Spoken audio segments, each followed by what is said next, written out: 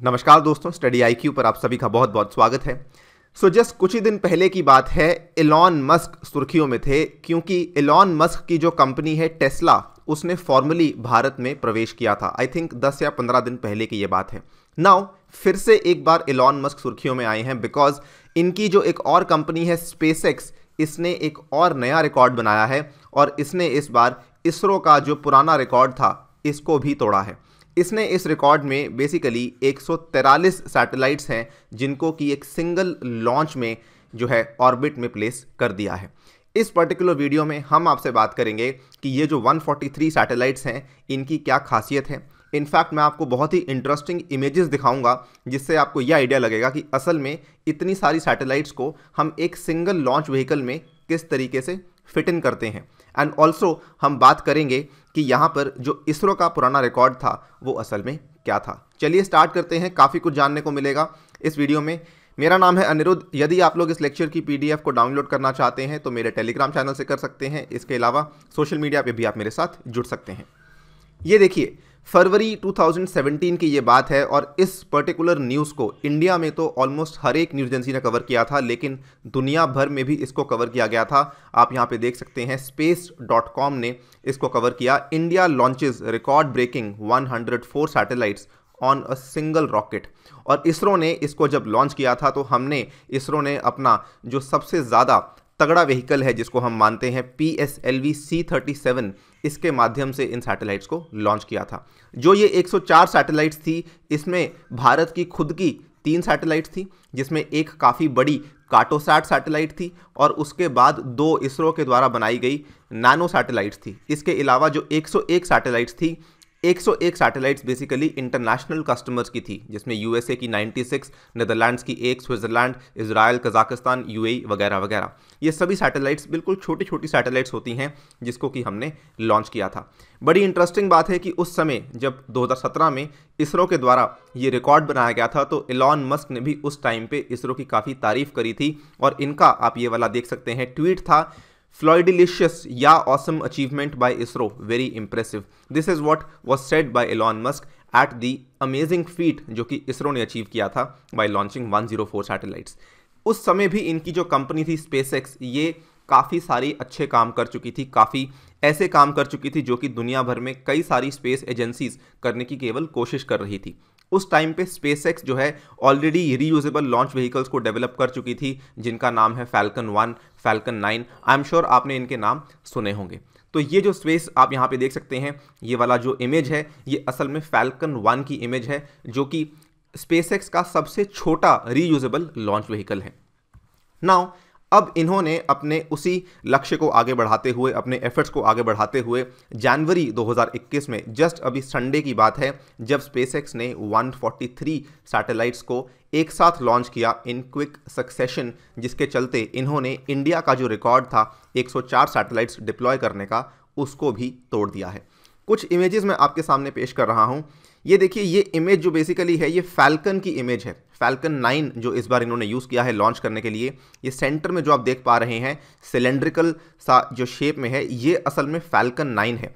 इसके साइड में जो ये छोटे छोटे चीज़ें आप देख पा रहे हैं, ये मल्टीपल चीज़ें, ये असल में सैटेलाइट्स हैं। आपको जाग के काफ़ी हैरानी होगी कि ये काफ़ी छोटी साइज़ में है। एक और इमेज आपके सामने पेश करूँगा। ये वाली इमेज में भी आप देख सकते हैं किस तरीके से सैटेलाइट्स को प्लेस किया गया है? ये सभी जो हैं, ये सभी यहाँ पे सैटेलाइट्स हैं जिनको कि आप इस इमेज में देख पा रहे हैं। ये वाली सैटेलाइट्स हैं, ये भी सैटेलाइट्स हैं, ये भी यहाँ पे सैटेलाइट्स हैं, ये सभी यहाँ पे सैटेलाइट्स हैं जिनको कि धीरे धीरे स्पेस में डिप्लॉय कर दिया जाता है।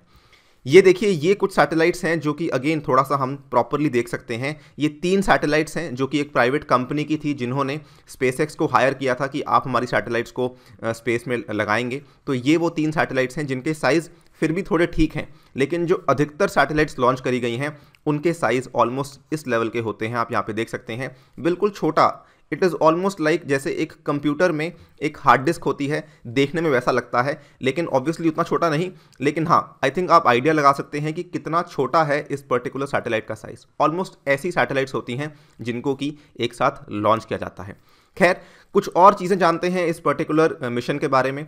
तो जैसा कि मैंने आपको बताया, इस बार जो इन्होंने इस्तेमाल किया था फैल्कन नाइन वाला लॉन्च व्हीकल इस्तेमाल किया था।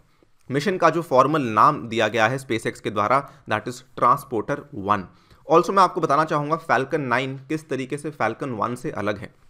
देखिए, ज़्यादा फ़र्क नहीं है, लेकिन बेसिकली क्या है कि जो फैल्कन वन और फैल्कन नाइन है, ये देखिए फैल्कन वन ये है, उसके बाद फैल्कन नाइन ये है, उसके बाद ये फैल्कन वन की इम्प्रूव्ड वर्जन है, ये भी फैल्कन नाइन की इम्प्रूव्ड वर्जन है।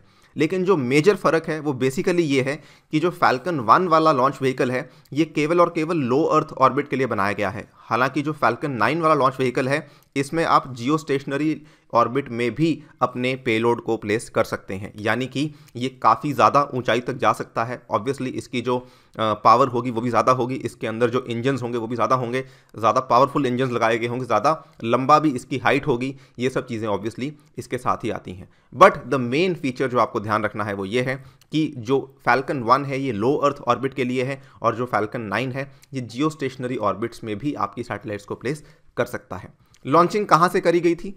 तो स्टैंडर्ड है, ये यूएसए में एक आपका सबसे इंपॉर्टेंट लॉन्च स्टेशन है। फ्लोरिडा में आप यहाँ पे देख सकते हैं स्टार मार्क किया हुआ है। दिस इज़ केप कैनावरल और ऑलमोस्ट सभी के सभी लॉन्चेस यहीं से होते हैं। फिर भले वो नासा के हों, फिर भले वो किसी प्राइवेट कंपनी के हों इंक्लूडिंग स्पेस इसकी लॉन्चिंग करी गई थी साढ़े आठ बजे।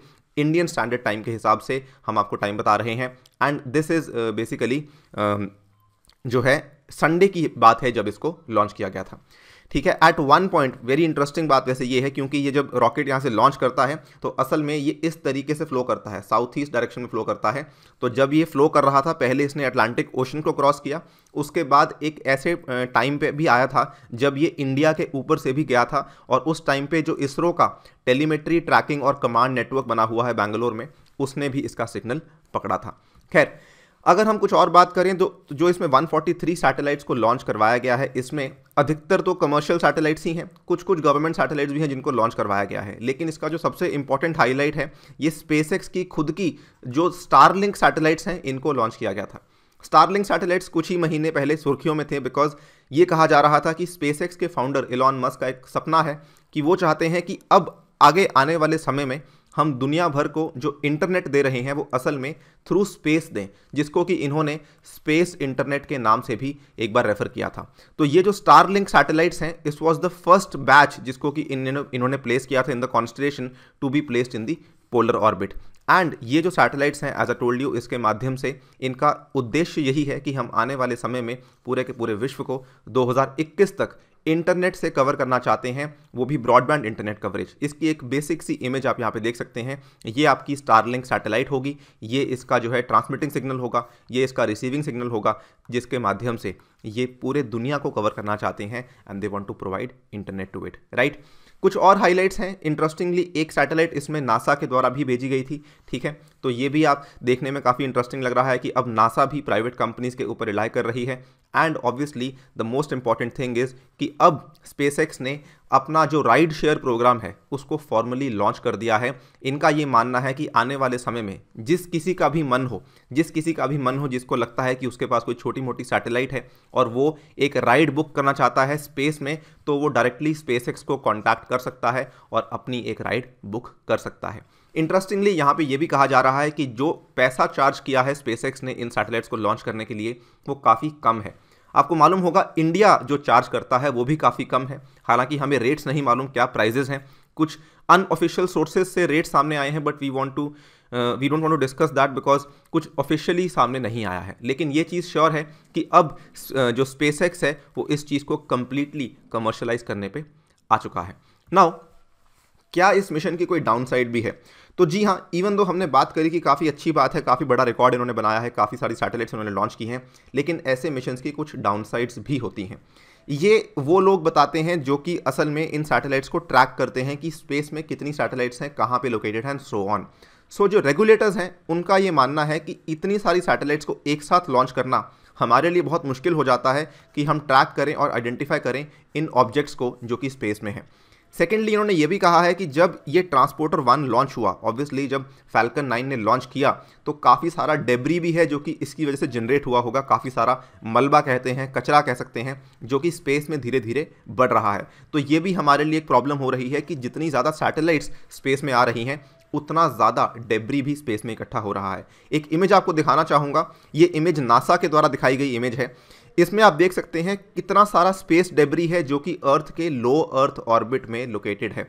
ये सारा का सारा जो येलो कलर में आप देख पा रहे हैं, ये असल में मलबा है जिसको कि हमने अभी तक स्पेस से क्लियर नहीं किया है। तो मानव क्या कर रहा है? कि बहुत सारी सैटेलाइट्स को लॉन्च तो कर रहा है, लेकिन जो उसकी वजह से डैमेजेस हो रहे हैं आसपास के एरियाज़ में, उसको साफ़ नहीं कर रहा है। This is something which is slightly worrisome even though as I told you कि सैटेलाइट्स के लॉन्चेस तो बढ़ रहे हैं, लेकिन कहीं ना कहीं एक चिंता का विषय भी बन चुका है। All in all what we can say is कि जो ये राइड शेयर लॉन्च है, ये कहीं ना कहीं जो रेगुलेटर्स हैं, उनके लिए बहुत बड़ा नाइटमेयर बन सकता है आगे आने वाले समय में।